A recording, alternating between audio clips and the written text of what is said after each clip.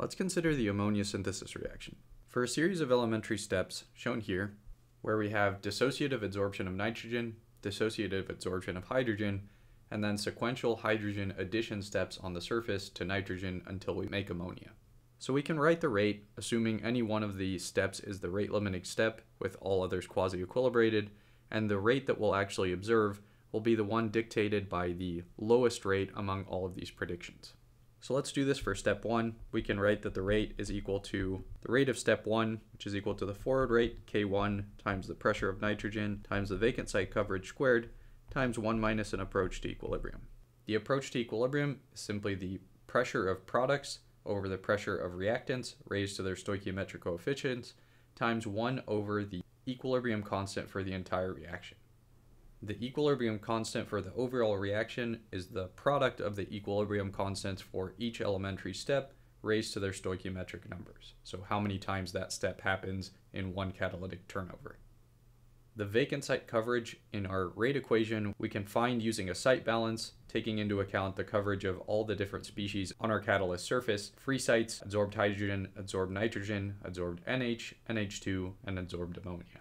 We can write expressions for all these different coverages in terms of measurable quantities, and these depend on the respective equilibrium constants for all of these elementary steps which we took to be quasi-equilibrated, so in this case everything except step 1.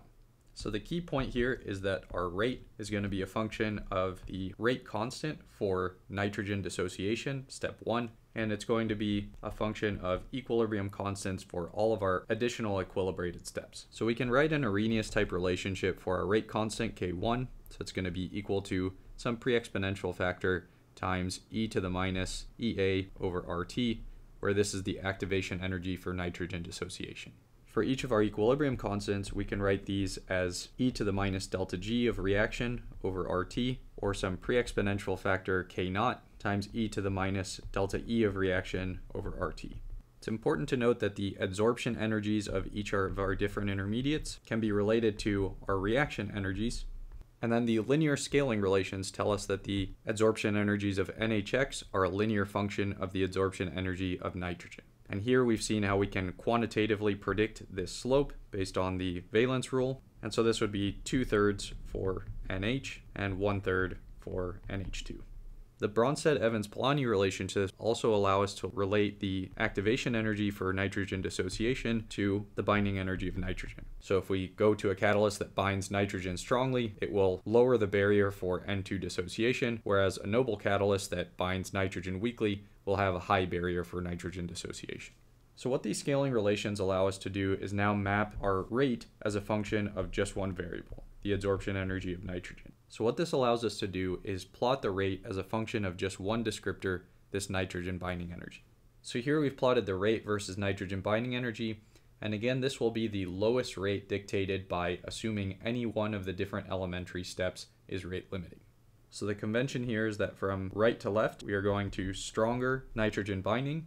And so on the right side of our volcano plot, we have weakly binding catalysts, and on the left side, we have strongly binding catalysts. So putting some different metals on here, going from nickel to cobalt to rhodium to ruthenium, increasing the surface affinity for nitrogen lowers the activation energy for dissociating nitrogen. Essentially, K1 is increasing as we make the nitrogen binding stronger. On the left side of our activity volcano, we find metals like iron and molybdenum.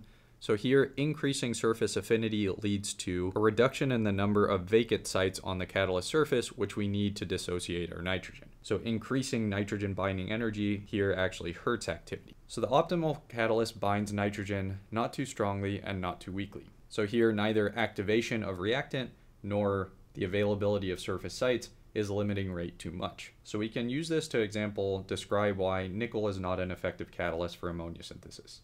So here, since it binds nitrogen too weakly, the barrier for N2 dissociation is too high. We can also think about questions like how the activity volcano would change as we increase temperature. So at a higher temperature, our activity volcano might look something like shown here in purple. So we can see two differences. The maximum activity is higher, and the optimal binding energy shifts to stronger binding. So since desorption is favored at higher temperatures, going to stronger binding can increase the nitrogen dissociation rates without leading to too high of coverages. So this volcano relationship both allows us to qualitatively understand why different catalysts are better than one another, and it gives us a quantitative prediction of where we need to be in adsorption energy to design the best catalysts.